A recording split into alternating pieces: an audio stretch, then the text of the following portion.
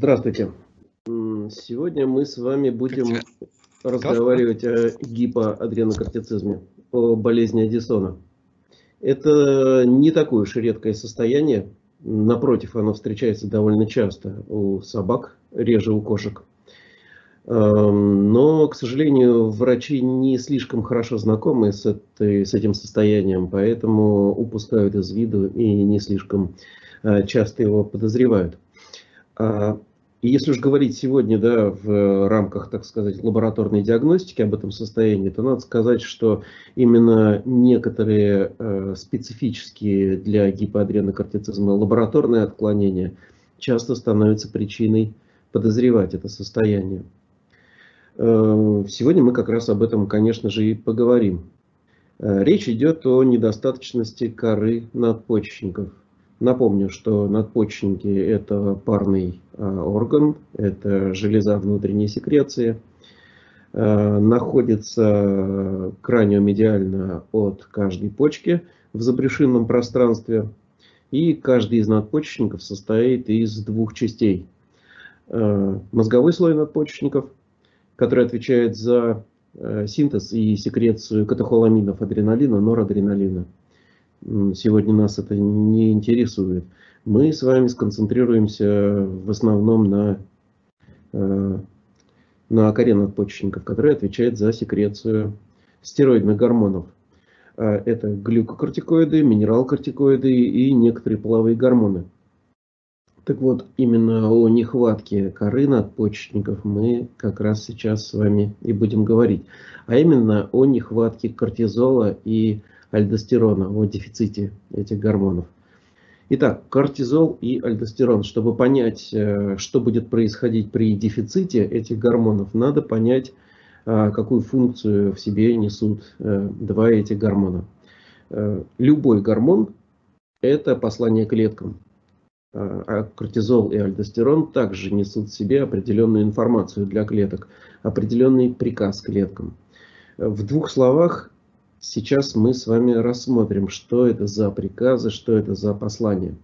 И начнем с кортизола, у которого функционал достаточно а, широкий.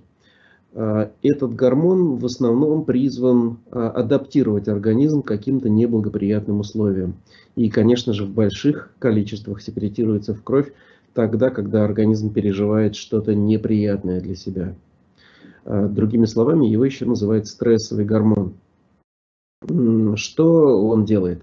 Если на организм оказывается какое-то воздействие неблагоприятное, опасное воздействие, то э, клетки должны мобилизоваться и начать бороться за свою жизнь, перестроить свой метаболизм таким образом, чтобы максимально комфортно, если так можно сказать, э, можно было пережить э, вот эту вот ненастье, да, кортизол как раз э, настроен это делать.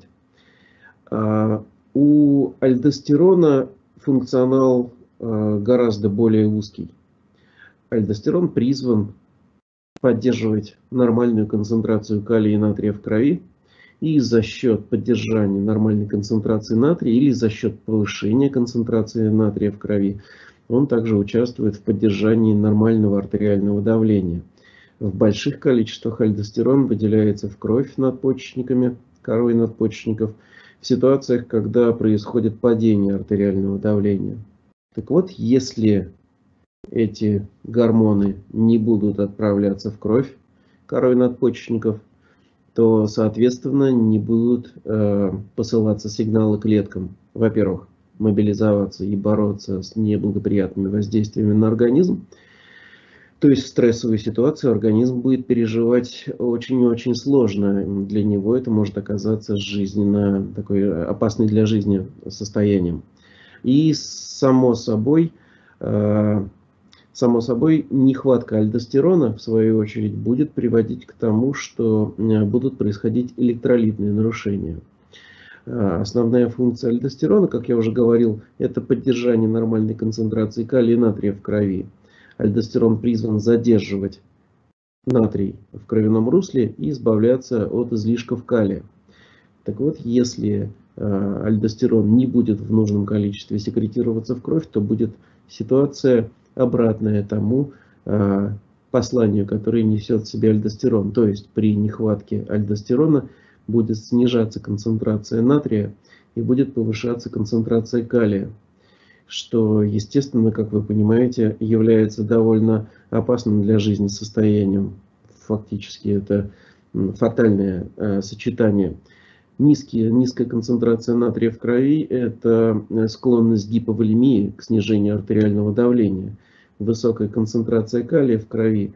Это токсическое действие на, на миокард, это аритмогенный такой фактор и э, фактор, который способствует в конечном итоге э, гемодинамическим, гемодинамически значимым нарушением ритма и в конце концов остановки сердца, если гиперкалиемия будет э, слишком сильной. Так вот, сочетание гиповолемии и нарушения ритма – Э, как вы понимаете, весьма и весьма опасно для организма.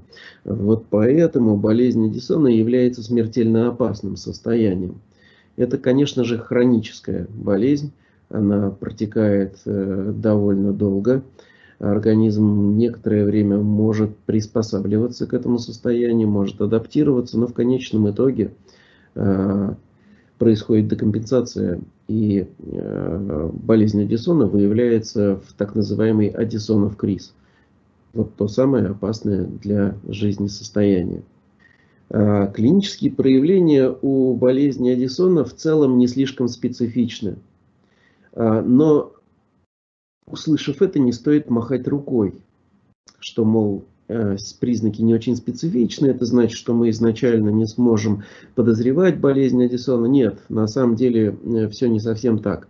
Несмотря на вот эту неспецифичность клинических признаков, врачи, которые раз или два встречались с болезнью Аддисона, так или иначе начинают ощущать, как говорится, образ этой болезни, да, и начинают подозревать ее там, где она действительно есть.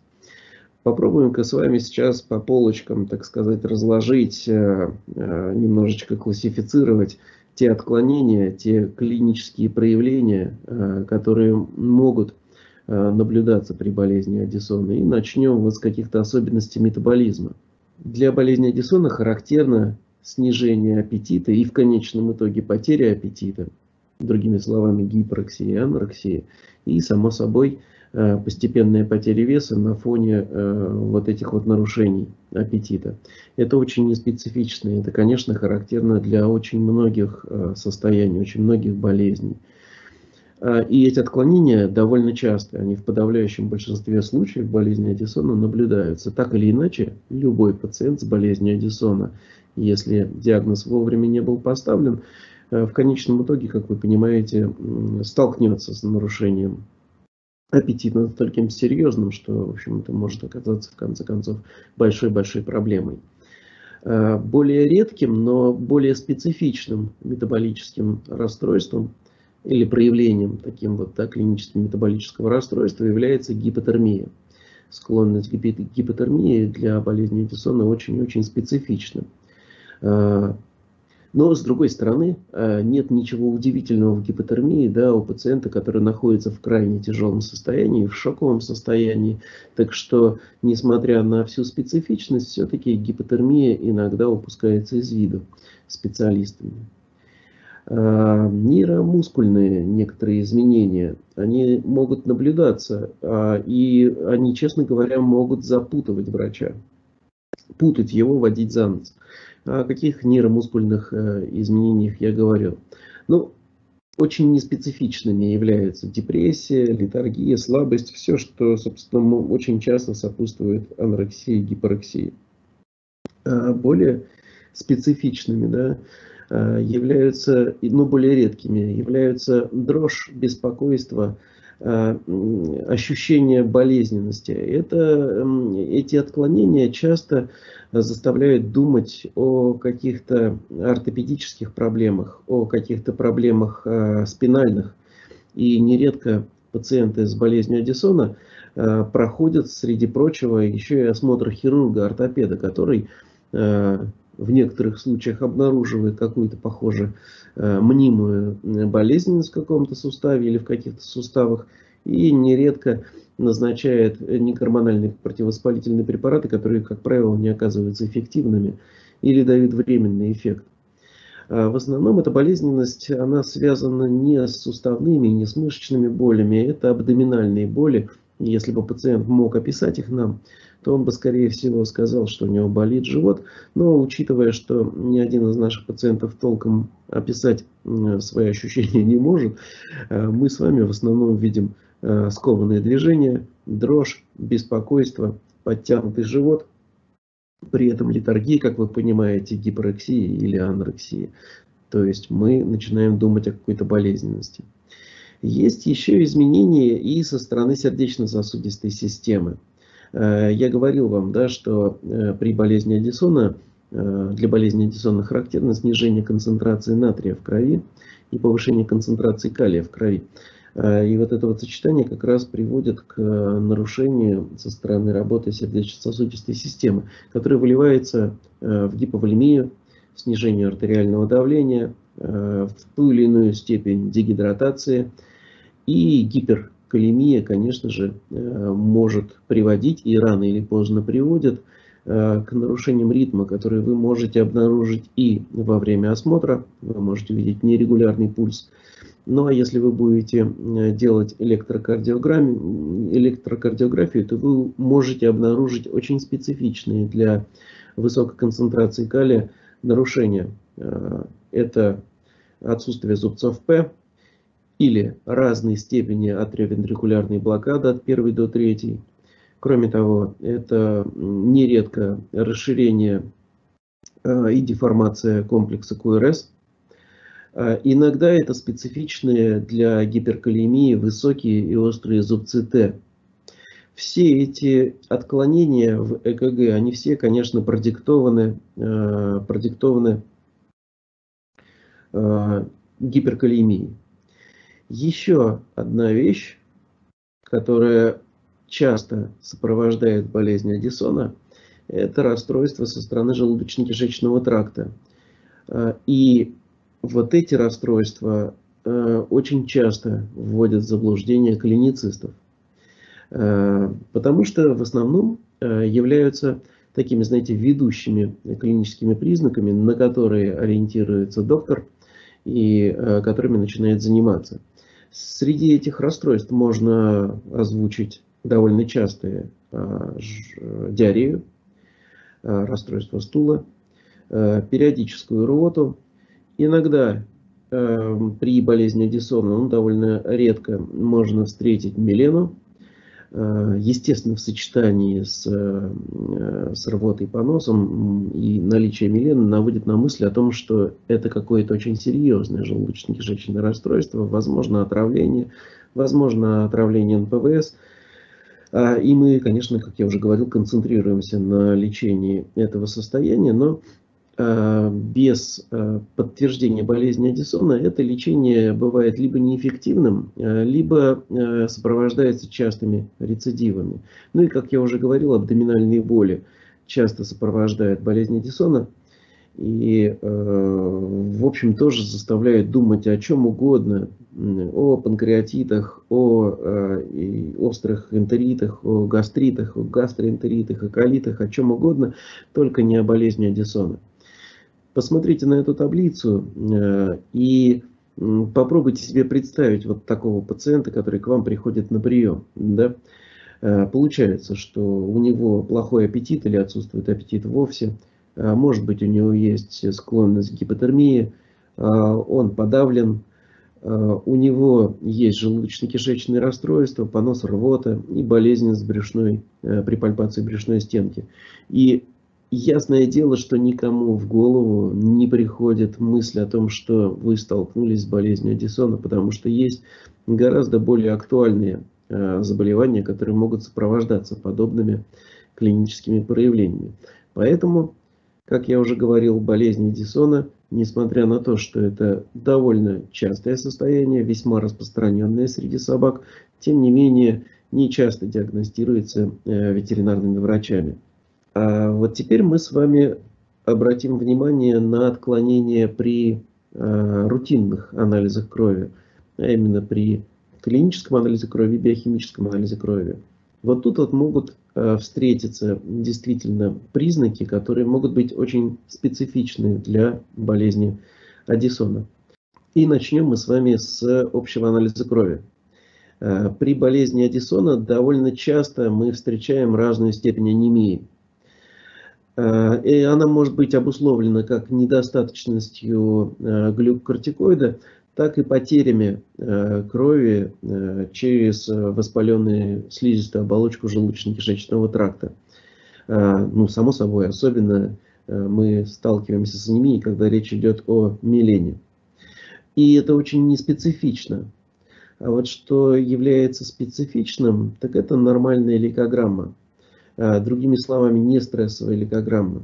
С одной стороны, ничего особенного. Да? Врач э, общей практики, например, встречает вот этого пациента, которого я вам только что описывал, э, делает клинический анализ крови и видит, что у него есть некоторая анемия и у него нормальные лейкограммы. И врач нормальной лейкограмме не придает значения. Но на самом деле если бы он попробовал сопоставить результат анализа крови и состояние пациента, то он бы понял, что есть некоторые несоответствия. Дело в том, что при плохом состоянии мы чаще всего с вами сталкиваемся с так называемой стрессовой лейкограммой, когда происходит относительное увеличение количества сегмента ядерных э, лейкоцитов, когда уменьшается количество эозинофилов, когда уменьшается количество лимфоцитов – то есть мы с вами видим обычно у пациентов с тяжелым состоянием эозинопению, лимфопению, относительные, конечно. Вот. И такое состояние называется стрессовым, стрессовой гликемией, ой, простите, стрессовой э, лейкограммой. А, но вот при болезни Аддисона такой лейкограммы мы, как правило, с вами не встречаем, и это является действительно аномалией. Но, еще раз повторю, мало кто обращает внимание на эту аномалию. Мы в основном э, обнаруживаем ее задним числом, когда уже э, подтвердили болезнь Эдисона или когда начинаем ее конкретно подозревать на основании некоторых показателей биохимических, при биохимическом анализе крови. А вот что касается биохимического анализа крови, то здесь есть смысл остановиться подробнее на этой теме потому что э, отклонения э, в этом анализе могут, с одной стороны, быть очень специфичными, а с другой стороны, э, могут запутывать клинициста. Ну, поговорим пока о отклонениях, которые бывают при болезни Аддисона и которые могут запутывать. Э, очень характерно для болезни Аддисона повышение концентрации мочевины и креатинина в крови. Э, это повышение часто заставляет думать о хронической болезни почек очень многих врачей. Э, особенно если принять во внимание те жалобы, с которыми поступает к нам пациент, и то, что мы с вами можем наблюдать при осмотре, то само собой, что высокий мочевинный креатинин э, сразу заставляет нас ставить на пациенте, как говорится, крест. Мы начинаем думать о самом дурном, о том, что почечная недостаточность существует, и прогноз у этого пациента не очень хороший или совсем не хороший. Но при болезни Аддисона это повышение связано с преринальной почечной недостаточностью. То есть, э, другими словами, функция почек сама по себе э, не нарушена. Э, просто в силу гиповолемии, в силу снижения артериального давления, в силу плохой перфузии почек – вот эти два показателя начинают повышаться. И они приходят в норму довольно быстро после того, как пациента, пациенту проводят инфузионную терапию. То есть мы встречаемся с вами вот с такого рода качелями, как говорится. Да? Э, показатели мочевины креатинина высокие, мы проводим капельную инфузию, думая, что это почечная недостаточность. Получаем очень быстрое улучшение и общего состояния, как правило, и улучшение со стороны почечных показателей. И думаем, что мы преодолели э, почечную недостаточность. Но, как вы понимаете, после того, как капельные инфузии будут отменены, э, через довольно короткое время, через сутки, через двое, через трое, э, произойдет снова рецидив улучшения общего самочувствия и снова поплывут кверху креатинин с мочевиной. И это будет заставлять нас думать о рецидиве почечной недостаточности. Мы снова начнем э, те же самые мероприятия. И так будем действовать по кругу до тех пор, пока не поймем, в чем дело. Повторю еще раз, что именно эти показатели могут вводить врача за нос. Поэтому вот такой вот характер да, изменений почечных показателей э, некоторых врачей, некоторых пытливых, некоторые пытливые умы заставляет подозревать уже на этом этапе э, болезни Эдисона. Еще одно отклонение, которое может быть характерно для болезни Эдисона, э, но которое тоже может вводить в заблуждение, это повышение активности трансаминаз, которое ну, достаточно выражено Э, повышается. Я имею в виду АЛТ и щелочную фосфатазу. Э, эти отклонения заставляют нас думать о некой печеночной проблеме, и, само собой, врач втягивается в лечение печени, в лечение гепатита. Само собой, это лечение не бывает, как правило, очень эффективным, вот, до тех пор, пока не бывает поставлен диагноз. Еще один момент, который также заставляет концентрировать на себе внимание, но э, отвлекает, честно говоря, от основного диагноза. Это гипогликемия. Как вы помните, э, э, при болезни Эдисона есть дефицит кортизола, а кортизол это глюкокортикоид. А каждый глюкокортикоид призван поддерживать нормальную концентрацию глюкозы в крови. То есть, когда происходит Э, большие расходы глюкозы, например, в стрессовой ситуации, в ситуации неблагоприятной для организма, выброс глюкокортикоидов в кровь, выброс кортизола в кровь делает ткани менее чувствительными к действию инсулина. Глюкокортикоиды являются контринсулярными гормонами. Кроме того, выброс глюкокортикоидов в кровь заставляет активизироваться глюконеогенез и это все способствует поддержанию нормальной концентрации глюкозы в крови, э, что очень благоприятно для головного мозга в стрессовой ситуации. Да? Вот. Так вот, при нехватке э, глюкокортикоидов, при нехватке кортизола, э, нередко отмечается противоположное явление, а именно гипогликемия. Она редко, крайне редко сопровождается гипогликемическим синдромом, то есть проявлением гипогликемии клиническим но зато оттягивает на себя внимание врачей. И э, если уж они биохи, при биохимическом анализе крови обнаружили ее, эту гипогликемию, то при этом еще пациент себя чувствует очень плохо, э, врачи за, начинают заниматься нормализацией концентрации глюкозы в крови. Это могут быть болюсы 40% глюкозы, это могут быть инфузии э, 5 или 10% глюкозы. Вот. Само собой, э, эти инфузии, эти э, болюсные введения 40% глюкозы, конечно, могут приводить к нормализации концентрации глюкозы в крови, но не приводят к улучшению, как это бывает при гипогликемическом синдроме. Вот. Еще раз повторю, что гипогликемия довольно часто встречается при болезни Эдисона, но в основном заставляет врачей идти не по неправильному пути.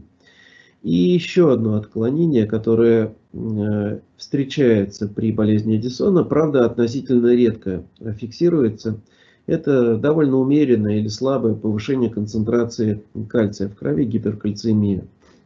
Мало кто обычно обращает внимание на это повышение. И оно, как правило, остается необъяснимым.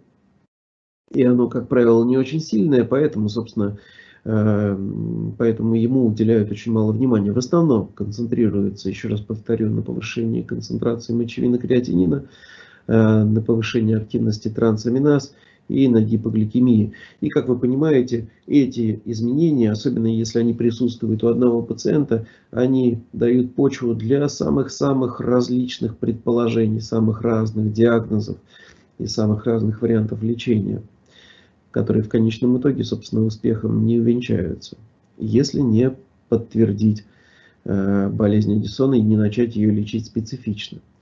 А вот теперь мы с вами обратим внимание на очень специфичное э, нарушение, э, со стороны, э, которое мы можем встретить при биохимическом анализе крови у пациентов с болезнью Эдисона. И именно это сочетание заставляет врачей подозревать эту болезнь. Я имею в виду гиперкалиемию и гипонатриемию. Те электролитные нарушения могут быть сочетанными, то есть у одного пациента может быть гиперкалиемия и гипонатриемия. Это очень специфично, это очень характерно для болезни Аддисона. Но также может встречаться и отдельно э, нарушение одного из этих э, показателей. Например, у пациента может быть гиперкалиемия и нормальная концентрация натрия, и наоборот, нормальная концентрация калия, но низкая концентрация натрия все эти электролитные нарушения в той или иной степени, если они присутствуют, заставляют сразу думать о том, что у пациента есть болезнь Эдисона. И с этого момента начинают э, думать о подтверждении этого состояния. Э, но не стоит э, полагать, что э, в 100% случаев болезни Эдисона электролитные нарушения встречаются. По статистике процентах в 20 э, случаев болезни Эдисона, случаях гипоадренокортицизма, э, электролитных нарушений не бывает.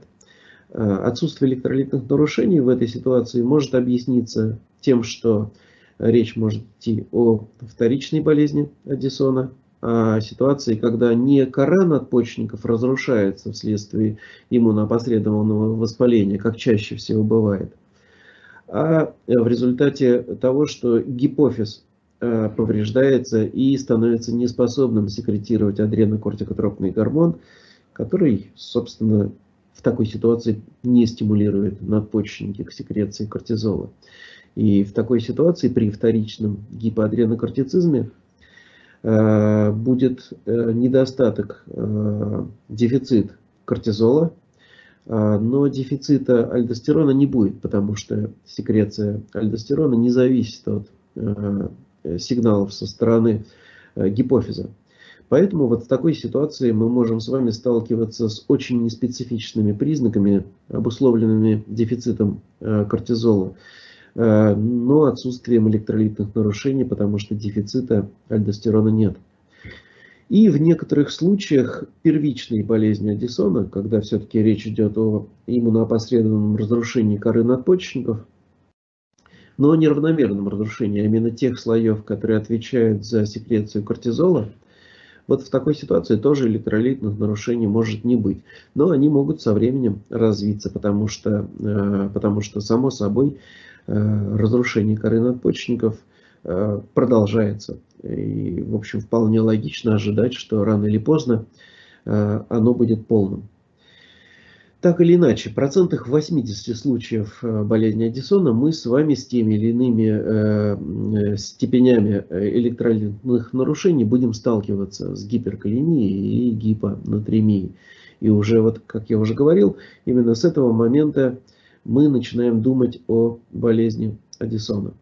Э, что еще можно, о чем еще можно говорить, когда э, мы э, сталкиваемся с болезнью Дисона? Само собой, когда мы видим нарушение ритма, или многие врачи видят нарушение ритма и видят признаки сердечной недостаточности, они начинают думать о патологиях сердца и выполняют рентгенограммы грудной клетки, пытаются таким образом попробовать понять, если какие-то органические изменения со стороны э, работы, э, какие со стороны сердца, простите. И, как правило, на рентгенограммах обнаруживают признаки э, гиповолемии, рентгенографические признаки гиповолемии. Это уменьшение тени сердца, это объединение сосудистого рисунка, это снижение контрастирования каудальной полой вены, в общем, вот эти все признаки рентгенографические гиповолемии можно обнаружить при э, болезни Аддисона. Электрокардиограмма. Я вам говорил, да, уже, что э, при болезни Аддисона мы часто сталкиваемся с вами с гиперкалемией и, соответственно, те изменения электрокардиограммы, которые, о которых я чуть раньше говорил, вы можете увидеть вот на, этом, на этой электрокардиограмме. Э, она была сделана 8-месячной э, э, самке собаки, у которой был диагностирован, диагностирована болезнь Эдисона, у которой концентрация калия была в районе 8. Как вы видите, мы на, рентген, на этой электрокардиограмме можем увидеть, что зубцы П отсутствуют, что комплекс КРС расширен и что ритм нерегулярный. Итак, предположим, есть у нас пациент с комплексом клинических признаков, неспецифических клинических признаков, да, которые в принципе могли бы соответствовать болезни Эдисона. И мы с вами э, у этого пациента видим кое-какие косвенные э, лабораторные признаки болезни Эдисона. Например, э, повышение концентрации мочевины, креатинина. И самое главное, мы с вами видим электролитное нарушение, гиперкалемию, гипонатриемию. Или один из этих показателей нарушен. Ну, нарушение концентрации одного из этих показателей. И нам в голову приходит мысль о том, что у этого пациента может быть болезнь Эдисона. А, скажу, что болезнь Эдисона – это заболевание молодых животных. Как правило, именно у молодых мы диагностируем ее. До пожилого возраста они не доживают, если им не ставят диагноз вовремя. Или э, болезнь Эдисона крайне-крайне редко возникает у, у пожилых пациентов в силу э, каких-то таких не иммуноопосредованных поражений коры надпочечника, а, например, вследствие там, э, разрушения коры надпочечников и вследствие, э, например, сепсиса, вследствие шока, вследствие э, какого-то грибковой инфекции и так далее, что большая-большая редкость. В основном, еще раз скажу, причиной Э, болезни Эдисона является иммунопосредственное поражение, необратимое поражение коры надпочечников, а это, как правило, бывает у молодых пациентов. То есть такие пациенты, средний возраст их около 4 лет. Итак, мы подозреваем болезнь. Что мы можем с вами предпринять для того, чтобы подтвердить ее? Ну, само собой, что если мы сталкиваемся с вами, э, подозреваем, точнее, э, дефицит э, секреции кортизола, то в голову приходит мысль определить концентрацию кортизола в крови. И, в общем, кажется вполне логичным, что если концентрация кортизола в крови будет низкой у такого пациента, то болезнь Эдисона будет у нас в кармане. Но это не так. Дело в том, что и при нормальной функции коры надпочечников мы можем сталкиваться с вами в определенных ситуациях э, с низкой концентрацией кортизола или с концентрацией кортизола, в общем, неопределяемой в крови. При этом это не, подтвер... это не будет говорить о том, что э, надпочечники не способны секретировать кортизол если произойдет их стимуляция, вполне возможно, что они э, дадут необходимую концентрацию кортизола в крови. А, но, с другой стороны, э, надо отметить, что если концентрация кортизола в крови выше 55 наномоль на литр, то это говорит э, о том, что болезнь Эдисона можно считать исключенной. То есть это говорит о том, что кора надпочечников способна секретировать нормальную концентрацию нормальное количество кортизола. А, и определение концентрации кортизола, как вы поняли, хорошо для того, чтобы исключать болезнь Эдисона, но не для того, чтобы ее подтверждать. Я время от времени использую определение базовой концентрации кортизола у пациентов, у которых только смутно подозреваю болезнь Эдисона или хочу просто а, отвязаться от нее, исключить ее и, собственно, думать о каких-то других состояниях. Э, и если я получаю высокую концентрацию кортизола выше 55, то я тогда отставляю болезнь Аддисона в сторону и начинаю заниматься диагностикой других состояний. Но если концентрация кортизола низка, то э, тогда все-таки необходимо э, провести специфический тест, тест, который проводят в тех случаях, когда болезнь Аддисона подозревается. И это старый добрый тест с адренокортикотропным гормоном, с синтетическим аналогом адренокортикотропного гормона.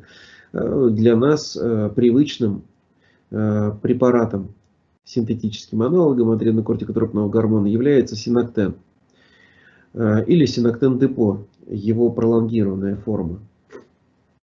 Протокол теста с адренокортикотропным гормоном довольно простой – мы должны будем взять э, первую пробу крови, чтобы в ней определить концентрацию кортизола базовую. И, само собой, мы должны увидеть концентрацию ниже 55 наномоль на литр. А после этого мы в, делаем инъекцию синоктена. Если это синоктен, который можно вводить внутривенно, то он вводится внутривенно или внутримышечно. Если это синоктен депо, пролонгированная форма препарата, то только внутримышечно можно вводить. Э, протокол предполагает введение синоктена в дозе 5 микрограмм на э, килограмм. Э, и через час или полтора часа берется вторая проба крови, и в ней также оценивается концентрация кортизола. Что в норме должно произойти? Что мы это должны понять, чтобы, чтобы правильно интерпретировать этот тест. Э, при нормальной функции э, коры надпочечников через час-полтора после стимуляции надпочечников э, синоктеном, синтетическим аналогом адренокортикотропного гормона, должна произойти серьезный, должен произойти серьезный прирост концентрации кортизола в крови. В норме концентрация кортизола в крови повышается от 200 до 450 наномоль на литр. Отсутствие прироста будет говорить о э, болезни Аддисона.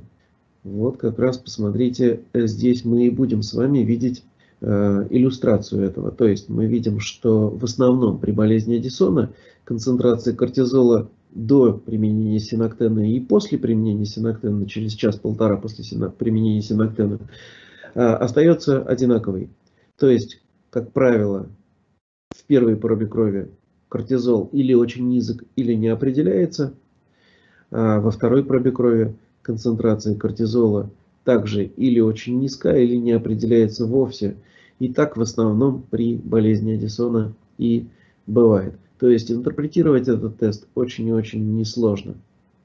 Тут важно что заметить. Важно заметить, что а, подтвердить болезнь Аддисона важно до того, как вы начнете длительную заместительную терапию. Почему? Потому что если вы втягиваетесь в длительную заместительную терапию, не подтвердив болезнь Эдисона, то через несколько месяцев подтвердить это заболевание уже будет невозможно, потому что тест с адренокортикотропным гормоном будет неинформативен. А отменить э, глюккортикоид или минерал-кортикоид э, с глюккортикоидной активностью – после длительного курса э, очень быстро отменить будет невозможно. Поэтому прошу вас, прежде чем вы втянетесь в длительную заместительную терапию, все-таки подтвердите диагноз. Короткая заместительная терапия не является большой проблемой э, для подтверждения болезни Эдисона. То есть в течение недели применение там, преднизолона, например, не будет сказываться на результатах теста с адренокортикотропным гормоном. И вы можете Э, после недельного курса преднизолона выждать около суток, э, сутки после последней инъекции, собственно, провести тест. Если вы подтвердили все-таки болезнь Эдисона то, э, и планируете лечение, то тут вам важно понять, как, в каком состоянии пациент находится. Он находится в очень тяжелом состоянии или в состоянии средней тяжести. Отсюда, собственно, вы выбираете лечение. Если у пациента сохранен аппетит, э, если у него нет анорексии, ну, например, есть только гипорексия, и вы оцениваете его состояние как состояние средней тяжести, вы можете такого пациента лечить амбулаторно, назначив ему заместительную терапию. Но если аппетита у пациента нет и, у него, и состояние его тяжелое, то амбулаторное лечение и просто заместительная терапия будут неэффективны. Давайте о лечении немножко поговорим. И о контроле лечения, лабораторном контроле лечения. Если аппетит сохранен и вы можете начать заместительную терапию, то, в общем-то, у нас в нашем распоряжении э, находится ну, такой довольно неплохой арсенал лечебных э, препаратов. Ну, доступный и э, весьма эффективный способ – это применение э, флудрокортизона ацетата, который продается в наших аптеках под коммерческим названием Кортинев. Эм, этот, это минерал-кортикоид с небольшой глюкокортикоидной активностью. И этот препарат можно использовать в монорежиме для э, пожизненной заместительной терапии пациентам с болезнью Эдисона. Э, редко когда требуется дополнительно к нему назначать глюкокортикоид в маленьких дозах для того, чтобы восполнять еще и глюкокортикоидную активность. Начинают обычно с относительно небольшой дозы, 10-15 микрограмм на килограмм в сутки. И через неделю после этого проводят Э, контрольный осмотр и контрольный анализ крови для того, чтобы понимать, хорошую дозу используете вы или ее стоит скорректировать. И в основном э, происходит постепенное увеличение дозы этого препарата до необходимой. Есть также и э, ветеринарный препарат, который в России, к сожалению, сейчас не зарегистрирован, но его в принципе можно приобрести за рубежом. Э, в интернет-аптеках э, зарубежных, э, он давным-давно используется в ветеринарии. Он имеет действующее вещество дезоксикортикостерон пивалат и продается под двумя коммерческими названиями. Один из них вот здесь представлен Зикартал и Перкартен, второе название коммерческое. Это суспензия, это пролонгированный препарат, который вводится подкожно или внутримышечно один раз в 25-30 дней – это исключительно минерал-кортикоид, он не обладает глюкокортикоидной активностью. Поэтому, если вдруг когда-нибудь вы решите его применять, то вы должны понимать, что параллельно с ним вы должны будете использовать еще и глюкокортикоид. Например, э, гидрокортизон в таблетках или преднизолон. Это все пожизненное лечение, да, и подбор дозы этих препаратов осуществляется Э, на первых этапах э, на основании э, результатов осмотра и опроса владельца, ну, то есть на основании того, как хорошо вам удается контролировать клинические признаки болезни Эдисона. И на основании, конечно же, определения концентрации калия натрия в крови. То есть вам нужно, конечно же, привести концентрацию калия натрия к норме. И, собственно, таким образом титровать дозу. В дальнейшем, как только доза подобрана, э, время от времени, раз там, в 3-4 месяца таким пациентам требуется э, контрольный осмотр и контрольное определение калия натрия в крови, чтобы вовремя корректировать дозировку э, препаратов, которые вы используете для заместительной терапии. А вот если речь идет о другом состоянии, о состоянии аддисонного криза, когда аппетита нет у пациента, когда общее состояние тяжелое, то только заместительной терапии будет не хватать, конечно же. И больше того, э, дефицит э, минерала глюкокортикоидов вот в этой ситуации не будет э, смертельно опасным. Смертельно опасным для пациента в такой ситуации является гиповолемия и электролитные нарушения, которые влекут за собой, конечно же, нарушение ритма. А, соответственно, э, лечебные мероприятия должны быть направлены в первую очередь в такой ситуации на борьбу с гиповолемией и на борьбу с электролитными нарушениями. Э, нужна энергичная и очень активная э, инфузионная терапия для того, чтобы как можно скорее поднять артериальное давление такому пациенту и поддерживать его в дальнейшем. И, собственно, уже на фоне инфузионной терапии только – общее самочувствие многих-многих пациентов улучшается. Они становятся гораздо более активными и в, в некоторых случаях начинают интересоваться едой. А, с гиперкалемией есть смысл бороться а, в тех случаях, когда а, гиперкалемия сопровождается какими-то серьезными нарушениями ритма, гемодинамически значимыми. Ну, в такой ситуации используют,